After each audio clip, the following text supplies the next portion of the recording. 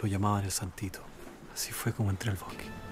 Es que estoy impactada todavía, porque la verdad es que yo creo que refleja harto seguramente lo que pasó, porque yo creo que hay mucha gente que no, no lo cree por completo, yo creo que termináis como de darte cuenta, yo creo que hay que verla.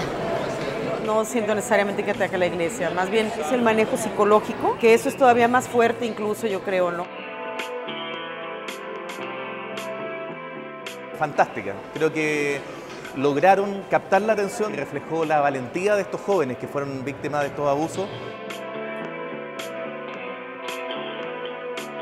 Una tristeza porque yo soy católica, me duele mucho, pero es la realidad y hay que denunciarlo.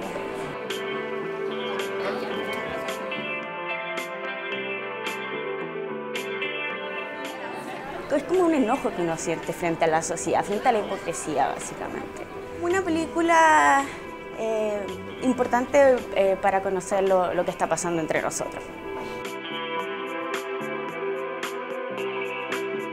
Es importante no solamente para nosotros como país, sino que a nivel mundial, una cosa que no solamente pasa acá, es una realidad. Es un tema súper importante en Chile, que mucha gente todavía no lo asume o no lo acepta. Extraordinaria, extraordinaria. Que la clase alta no se atreve a decir la verdad, y esta vez sí. Me parece súper eso válido y legítimo. Me sorprendió que no hubiera pudor. Me puse en el lugar del otro. ¿Cómo se tienen que haber sentido pasado a llevar? Si yo lo veo negro, es negro, aunque usted lo vea blanco.